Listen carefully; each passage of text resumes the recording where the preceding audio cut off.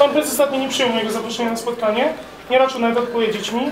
Myślę, że te tysiąc podpisów, które mam tutaj, w tej teczce, pod odwołaniem prezesa spółki Aquatur, jest wystarczającym mandatem dla mnie, żeby tu dzisiaj być. Chyba, że pan prezes uważa inaczej. Tak, tak uważam. Uważam inaczej. Ja w e, poniedziałek dostałem po południu zaproszenie. We wtorek byłem z żoną przeszkolony u lekarza i nie byłem w stanie na to odpowiedzieć. W środę dowiedziałem się o spotkaniu. Także nie byłem w stanie przyjąć zaproszenia pana Miegińskiego. W środę miał się rano pojawić w firmie i też odmówił.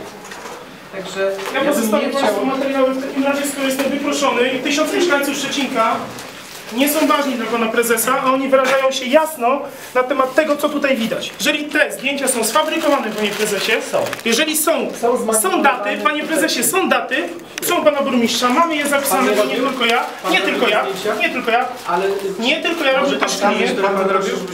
E, nie tylko klient, nie tylko ja. Na tych są zdjęcia telefonem, są daty, które my pokażemy oczywiście w odpowiednich miejscach. Jeżeli są zmanipulowane, jak najbardziej spotykamy się w sądzie tutaj, proszę Państwa.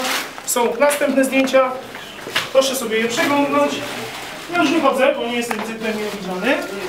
E, oczywiście, ale tylko przez Pana Prezesa. Mieszkańcy Szczecinka uważają inaczej.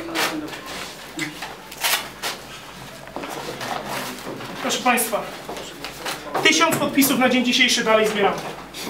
Zbierajcie. Na temat tego, Panie Marcinie, ja Ci nie przerywam, mogę się nie przerywać. jesteś zaproszony. Pokazujemy te zdjęcia. Proszę pan zobaczyć. targnął tutaj, proszę pana, nieproszony.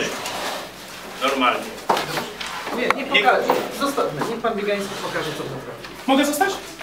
Nie. A, rozumiem. Dopiero później Rozumiem. konferencja, natomiast jeśli dziennikarze chcą to fotografować i oglądać, to bardzo proszę. Już nie będę. Te zdjęcia są oficjalnym dowodem, proszę Państwa. Jeżeli ktoś uważa, że one były zmanipulowane,